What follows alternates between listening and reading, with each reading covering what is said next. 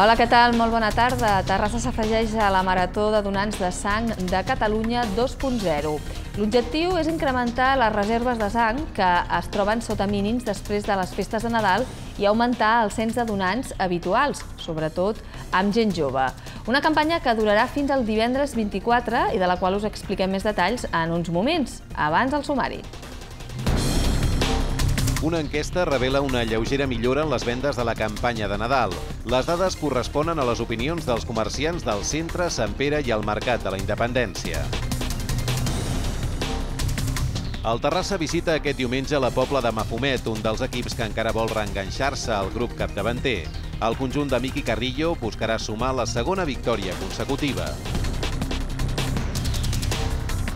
El Centre Cultural estrena una exposició de Romà Vallès, l'artista més representatiu de l'informalisme. La mostra coincideix amb el 90è aniversari del pintor, una de les figures centrals de l'art contemporani català.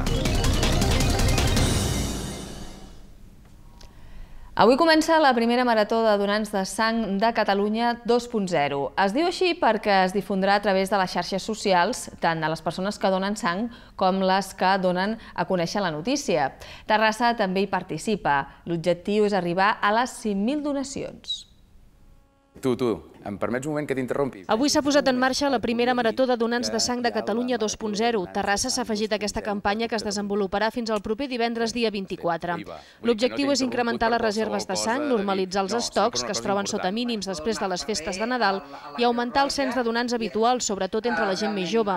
La principal novetat és la difusió de la marató a través de les xarxes socials, tant de les persones que donen sang com de les que donen a conèixer la notícia. En aquests moments, eh, les noves tecnologies eh, ens, ens donen un paper molt important amb aquesta marató, perquè, perquè el que ens servirà doncs, és que eh, es pugui, a través de les xarxes, incorporar eh, no tan sols en les donacions, sinó a la publicitat de tots aquests... Eh, de, de estimular la gent, d'incentivar, de sensibilitzar la gent amb una necessitat tan important com és la donació de sang. La Marató 2.0 és especial i és especial perquè la fem no a Terrassa, no a Cambrils, no a Girona, no a Olot, sinó tots alhora, tots alhora, amb tots els ajuntaments que estan al nostre costat i tots alhora. És una iniciativa pionera. La Marató de Donants de Sang de Catalunya 2.0 compta amb una trentena d'ambaixadors, persones actives a les xarxes socials que contribuiran a la difusió de la campanya. A Terrassa la persona triada és l'historiador Marc Ferrer. La nostra tasca quina és? Doncs eh, animar la gent a, a que es faci donant de sang i mm, la gent que, que no pugui donar sang pel que sigui, perquè a vegades doncs, has estat malalt o has fet un viatge o, o t'han tret un queixal o alguna cosa doncs, que en aquell moment precís no pot donar sang, doncs animar la gent a que, a que, es pugui, a que pugui donar sang. A Terrassa les donacions es poden fer al Banc de Sang i Teixits ubicat a l'edifici de Mútua, en horari ininterromput, de 9 del matí a 8 del vespre. Ja hi ha més de 2.600 persones apuntades per donar sang arreu de Catalunya. L'objectiu és arribar a les 5.000 donacions. Terrassa crea la taula de la pobresa energètica per ajudar les famílies sense recursos que no poden pagar les factures del gas o la llum. En la primera trobada s'ha valorat quantes famílies es troben en aquesta dramàtica situació. La crisi ha abocat moltes persones a patir per tenir aigua calenta o perquè la nevera el segueixi funcionant. És per això que fa unes setmanes la Generalitat va aprovar un decret per evitar que les famílies sense recursos es quedessin sense subministrament energètic. En aquesta línia s'ha constituït a Terrassa la taula de la pobresa energètica, un instrument que ha de servir per gestionar aquestes situacions. Està formada per l'Ajuntament, partits polítics, companyies energètiques i agents socials com sindicats i representants veïnals. En la primera trobada s'ha valorat quantes famílies tenen problemes per pagar les factures energètiques a Terrassa. La taula ha d'acordar quines mesures pal·liatives els calen, com per exemple la moratòria de pagaments. Però evidentment el que volem anar és una mica més allà, no? Eh, informació, informació en quant a la lectura i en quant a mesures d'eficàcia i d'eficiència energètica a les pròpies llars, sobretot aquelles que tenen una situació molt més vulnerable. La taula de la pobresa energètica es reunirà periòdicament per tal de valorar com funcionen les actuacions que s'acordin. La seva constitució forma part del Fòrum de Ciutadania pel Compromís Social. El comerç terrassem presenta una lleugera millora, així ho apunta una enquesta feta entre els professionals del sector. Fins a tres associacions de comerciants han notat un augment de les vendes en la passada campanya de Nadal. El comerç terrassenc valora positivament l'última campanya de Nadal per la pujada en les vendes, tot i que es manté certa reserva per a l'optimisme. Els membres de les associacions de comerciants Terrassa Centre de l'Eix Comercial de Sant Pere i del Mercat de la Independència han experimentat un lleuger augment en les vendes en general, la qual cosa compleix amb les expectatives creades i augura un futur millor que s'hauria de concretar en els pròxims mesos. Nosaltres estem contents perquè doncs, veníem, ja et dic, d'uns mesos que tothom havia tocat fondo, l'any passat eh, van fer molt menys del que es pensaven fer i aquest any estaven una mica espantats, diguem-ho, d'una manera fina. Jo crec que, vaja, des de la Junta que ha vist les, totes les contestes aquestes, es valora molt positivament el fet aquest de que doncs, les enquestes surten relativament, relativament millor del que ens esperàvem. No estava anant la, la cosa bé com per, per esperar una, una pujada de les vendes, no? amb la qual estem contents i això et fa tenir sempre un, una visió positiva no? i una esperança en que la cosa segueixi així, segueixi pujant, com, com a mínim estabilitzant-se i que no, que no vagi a, a menys. O sigui. Ja veus, ja veus aquest, aquesta, aquest, sembla aquest punt d'inflexió que dius és que està sent, està sent tot el més bo. Vull dir, sí que ens esperàvem que hi hagués una mica de pujada. Evidentment hi haurà les parades que no han pujat, però bueno. Segons una enquesta feta entre els associats de les tres entitats, més de la meitat dels comerciants consideren que el nivell de vendes a la campanya de Nadal ha estat bona o molt bona, mentre que més o menys l'altra meitat consideren que ha estat igual o menys bona que la campanya de l'any passat. Pel que fa al percentatge, el 69% dels comerços del centre han millorat resultats entre un 1 i un 5%, més d'un 20% de les parades del mercat i fins un 70% arriben als comerços i parades de l'eix de Sant Pere. L'enquesta inclou valoracions per sectors, els dies de més vendes o el nivell de satisfacció de les activitats de la campanya. En aquest punt, les associacions prenen nota d'aquelles activitats que han tingut més acceptació o han funcionat millor. Totes tres associacions coincideixen que l'home dels nassos és una de les propostes que de cara l'any que ve es veurà potenciada. Aquest dimecres, l'empresa Gratessa, imprenta vinculada al Diari de Terrassa, ha tancat les seves portes després de 37 anys d'activitat. Els 28 treballadors ja es troben a l'atur. Segons expliquen, no se'ls ha acomiadat, sinó que se'ls ha comunicat que se'ls extingia el contracte. Els empleats denuncien que l'empresa no els vol pagar la quitança i la indemnització que els correspon i els vol enviar al Fons de Garantia Social. Fogassa és un organisme del Ministeri de Treball i Seguretat Social que abona als treballadors acomiadats les indemnitzacions que l'empresari no pot pagar per insolvència o perquè està en fase de concurs de creditors. Un abonament que acostuma a ser força inferior al que correspon al treballador. Per aquesta raó, els extreballadors de Gratessa remarquen que seguiran lluitant per aconseguir els seus drets. Els treballadors continuen defensant que Diari de Terrassa i Gratessa estan totalment relacionades i que Julián Sanz, propietari del diari, té actius suficients per pagar. Aquesta vinculació entre les dues empreses es decidirà en un judici dijous que ve.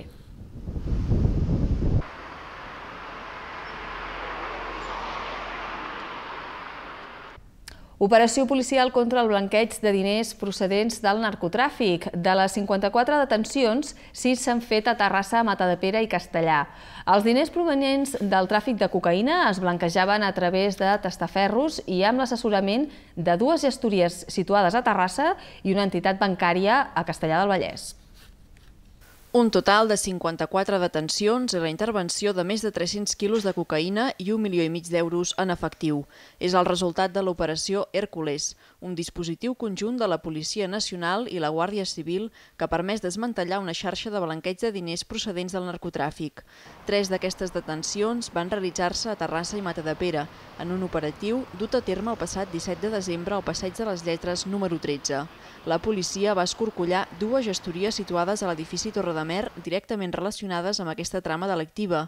En el mateix operatiu es van detenir tres persones més a Castellà del Vallès, entre elles el director d'una oficina bancària que presumptament oferia cobertura a aquest grup organitzat. Segons ha explicat la policia, l'operatiu ha permès desmantellar totalment aquesta xarxa criminal. El grup introduïa la cocaïna via marítima amagada en contenidors o en avió a través de les conegudes com a mules humanes. Després blanquejaven els diners que obtenien amb el tràfic de drogues a través de testaferros i amb l'assessorament de dues gestories situades a Terrassa i una entitat bancària a Castellà del Vallès. L'operatiu ha permès la detenció de 54 persones a les províncies de Barcelona, Tarragona, València o Madrid. A més, s'han intervingut diverses armes de foc, així com més d'un milió d'euros en efectiu. Els detinguts se'ls imputen els delictes de tràfic d'estupefaents, blanqueig de capitals i possessió il·lícita d'armes. 32 ja han ingressat a la presó i la resta han quedat en llibertat amb càrrecs i a l'espera de judici. Xerrada per promoure la seguretat en l'ús d'internet per part de menors i adolescents. Ha estat aquest matí a la sala de conferències de l'Escola d'Enginyeria de Terrassa. 65 alumnes de primer d'ESO del Liceu Egara han escoltat consells preventius per utilitzar la xarxa dins d'un entorn el més segur possible. S'han facilitat pautes als escolars i se'ls han explicat quines pràctiques no són recomanables.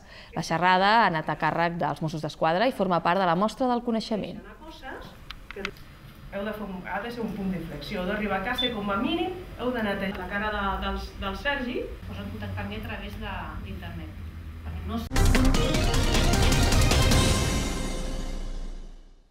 Diumenge al migdia el Terrassa Futbol Club buscarà la segona victòria consecutiva per continuar entre els favorits.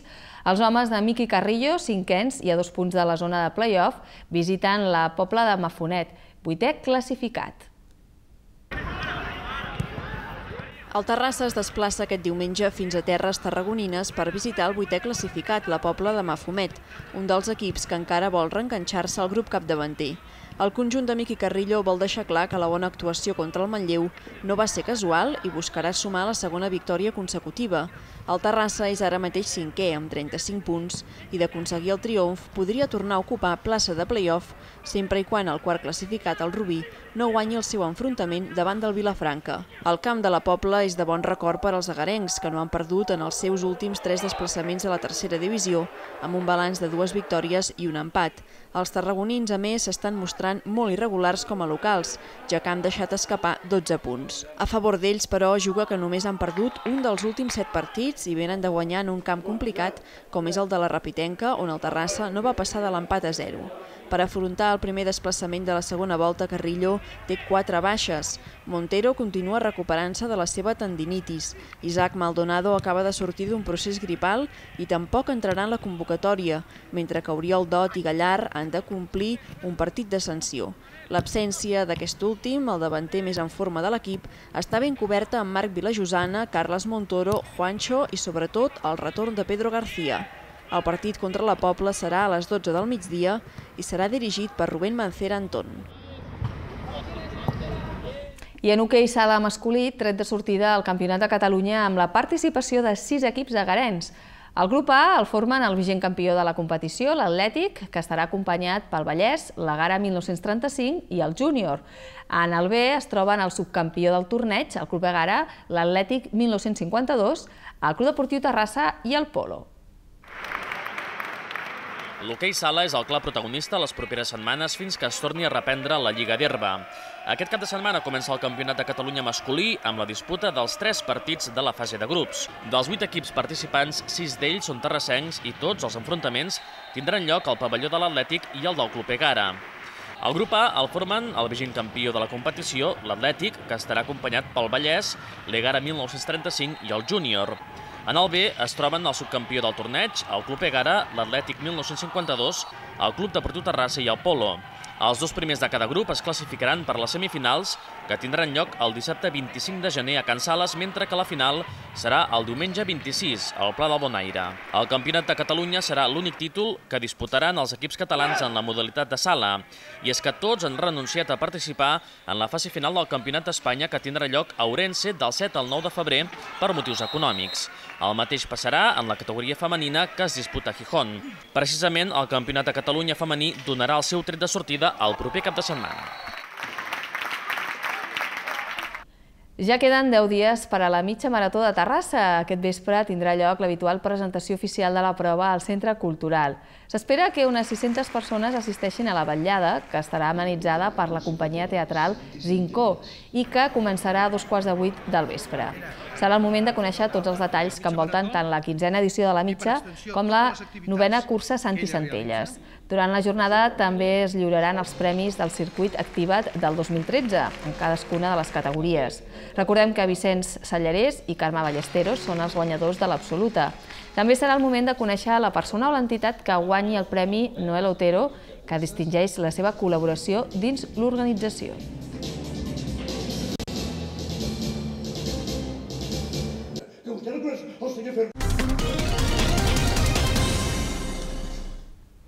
El Centre Cultural exposa una gran retrospectiva de Romà Vallès, coincidint amb el 90è aniversari de l'artista, màxim representant de l'informalisme, la mostra repassa la seva trajectòria pictòrica, incloent-hi obres inèdites. Es pot visitar fins al 30 de març. El Centre Cultural ha estrenat una de les exposicions més importants de Romà Vallès, la mostra més completa de l'artista més representatiu de l'informalisme, un dels últims grans moviments col·lectius arribat a Barcelona a mitjans del segle passat. Coincidint amb el 90è aniversari de l'artista, la mostra és el recull d'una important trajectòria artística que permet endinsar-se en una de les figures centrals de la història de l'art contemporani català. Una àmplia representació terrassenca ha participat aquest dijous al vespre en l'obertura de l'exposició. Hi ha coses que no havien sortit mai del meu estudi de l'any 57 i 56.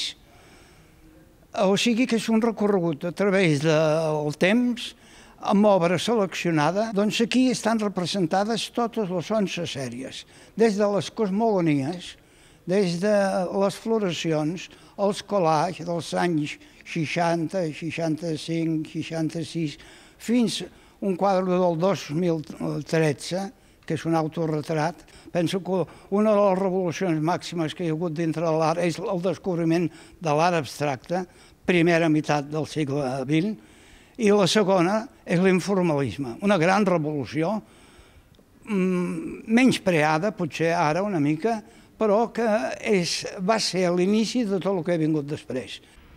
La mostra, segons el seu comissari, Albert Mercader, està centrada en l'expressivitat, la profunditat conceptual i l'experimentació, tres idees fonamentals en l'obra de Romà Vallès. La primera gran mostra de l'any es pot visitar al Centre Cultural fins al 30 de març.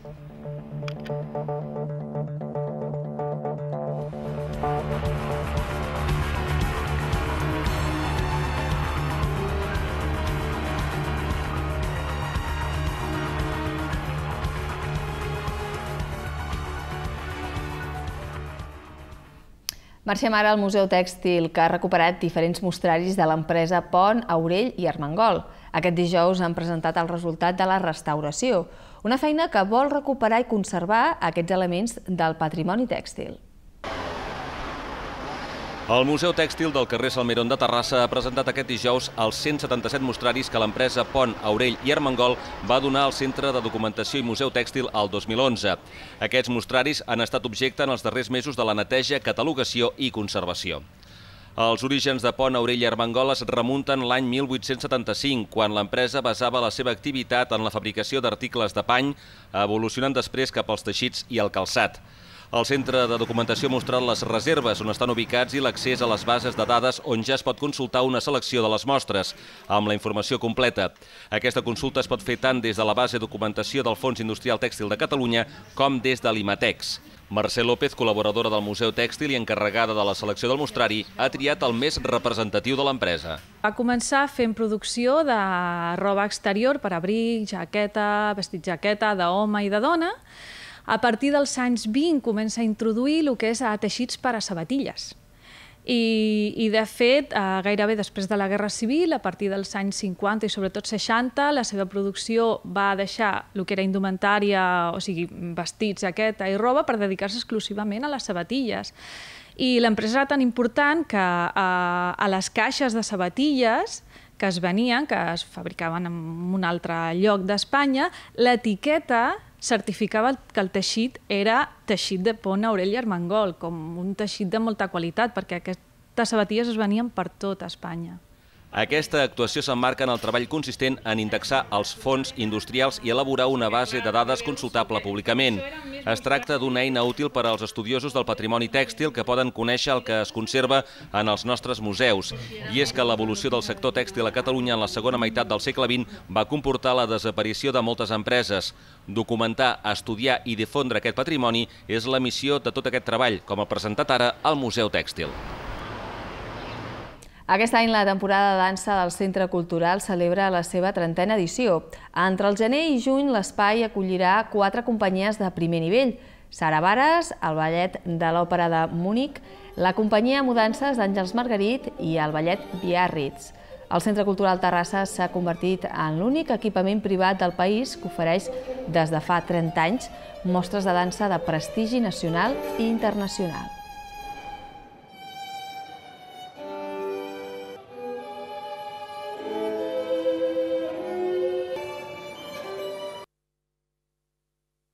L'estat de la dansa actual a Catalunya doncs, és doncs, que hi ha iniciatives, hi ha moltes iniciatives. Nosaltres cada any procurem que estiguin representades. I té dansa, per exemple, eh, la companyia aquesta que surt de l'Institut del Teatre, dirigida per Catrina Llar, doncs, va debutar fa 15 anys dels escenaris i ho va fer justament al Centre Cultural.